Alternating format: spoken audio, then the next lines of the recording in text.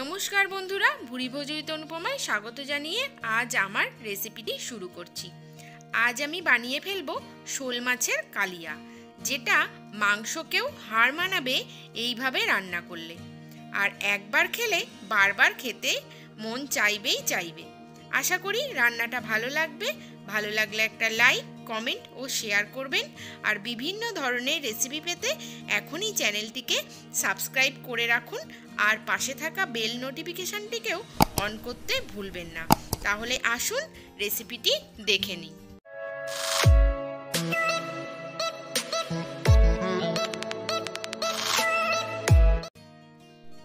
আমি সবার প্রথমে এখানে দেখুন চার পিস শোল মাছের পিস নিয়ে নিয়েছি। এই শোল মাছগুলোকে আমি নুন আর হলুদ দিয়ে ভালোভাবে মেখে নেব। এখানে শোল মাছটা আমার কিন্তু একটু বড় সাইজেরই শোল মাছটা ছিল। বড় সাইজের শোল মাছ দিয়ে এই রেসিপিটি করলে কিন্তু খেতে বেশ ভালোই লাগে।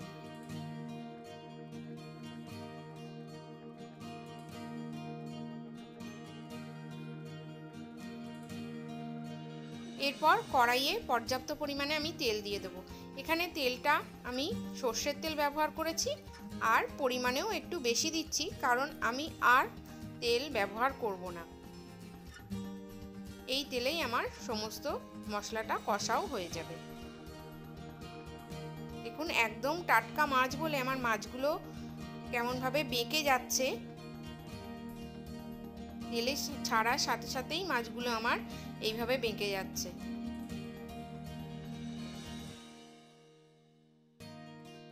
আমি এখানে দুটো দুটো করে মাছ ভেজে নিচ্ছি।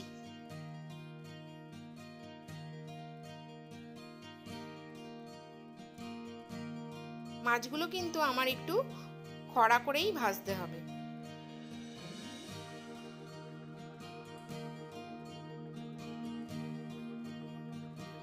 দেখুন বন্ধুরা, আমার মাছগুলো ভাজা হয়ে গেছে। আমি এবারে এক এক করে তুলে নিচ্ছি। আমি ওই তেলেই বাকি দুটো মাছ আমি ভেজে নেব।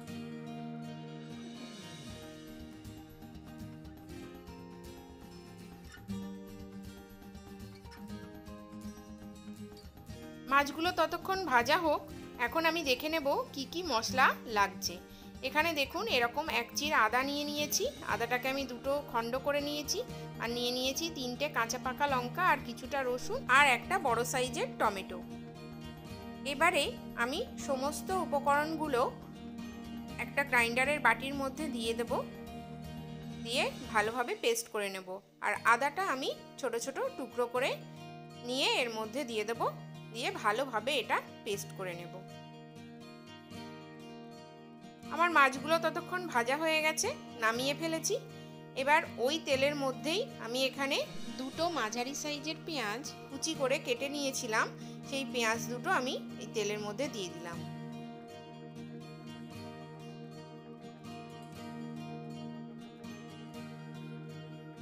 দিয়ে একটু ভালোভাবে ভেজে নিতে হবে পেঁয়াজটা।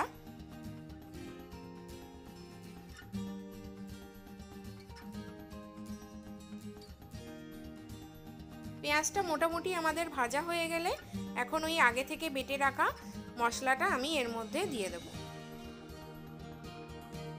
দিয়ে এই মশলার সাথে পেঁয়াজটা একটু ভালোভাবে আমাদের কষিয়ে নিতে হবে। যত বেশি কষানো হবে, তত কিন্তু এর টেস্টটাও কিন্তু ভালো হবে।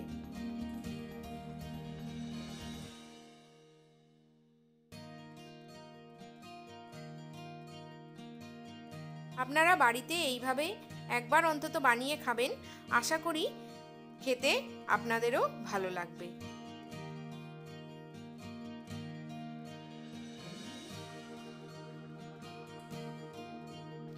মশলাটা আমার ফিফটি পার্সেন্ট মতো কষানো হয়ে গেলে এখানে আমি একে একে শুকনো মশলাগুলো দিয়ে দিচ্ছি। এখানে ওয়ান স্পুন দিয়ে দিলাম কাশ্মীরি রেড চিলি পাউডার আর হাফ টি স্পুন জিরের গুঁড়ো আর হাফ টি স্পুন ধনের গুঁড়ো।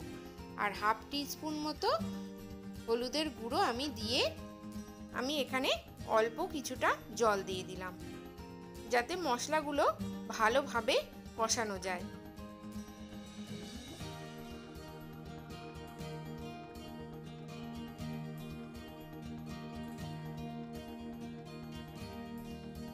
আমার এখানে কন্টিনিউয়াস ভালোভাবে নেড়ে যেতে হবে, যতক্ষণ না পর্যন্ত মশলাটা আর একটু কমে আসছে আর একটু তেল আমাদের ছেড়ে দিচ্ছে।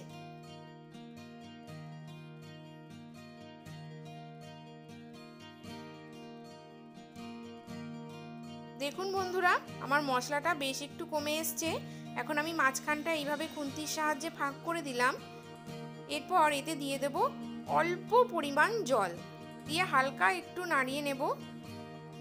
দিয়ে এর উপরে আমি আগে থেকে ভেজে রাখা মাছগুলো আমি সব দিয়ে দিচ্ছি। আপনারা চাইলে এখানে জল ঢেলেও দিতে পারেন। জল ঢেলে তারপরে একটু ফুটিয়ে মাছগুলোকে দিতে পারেন। কিন্তু আমার মনে হয় এইভাবে মাছটা দিলে মশলার সাথে যেমন মাংস কষানো হয়, সেরকম মাছটাও যদি এইভাবে একটু কষিয়ে নেওয়া যায়, তাহলে খেতে বেশ ভালো হয়।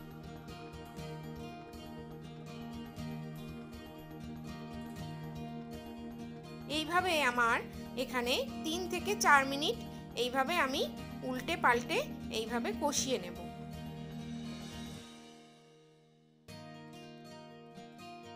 তিন থেকে চার মিনিট পর আমি এর মধ্যে দিয়ে দেব আগে থেকে করে রাখা গরম জল।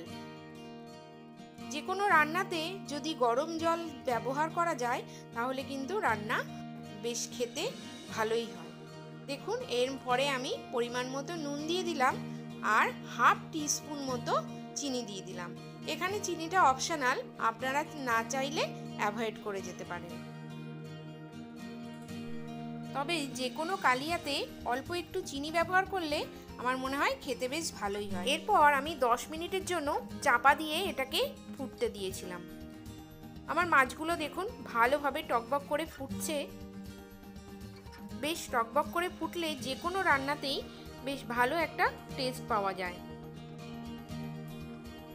এরপরে আমি হাফ টিস্পুনের থেকেও কম আমি দিয়ে দিলাম এখানে গরম মশলার গুঁড়ো। দিয়ে হালকা আমার একটু নাড়িয়ে গরম মশলাটা মিশিয়ে ফেলতে হবে। এরপর এক মিনিট মতো ফোটার পর আমি এখানে একটু চাপা দিয়ে গ্যাসের ফ্লেমটা অফ করে একটু স্ট্যান্ডিং টাইমের জন্য রেখে দিলাম। দেখুন, আমার শোল মাছের কালিয়া একদম রেডি হয়ে গেছে। আমি সার্ভও করে নিয়েছি। দেখতে তো খুবই সুন্দর হয়েছে। আশা করি খেতেও খুব ভালো হবে। চলুন তাহলে দেখা হচ্ছে অন্য কোনো দিন। নতুন কোনো রেসিপি নিয়ে খুব তাড়াতাড়ি হাজির হচ্ছি আপনাদের সামনে।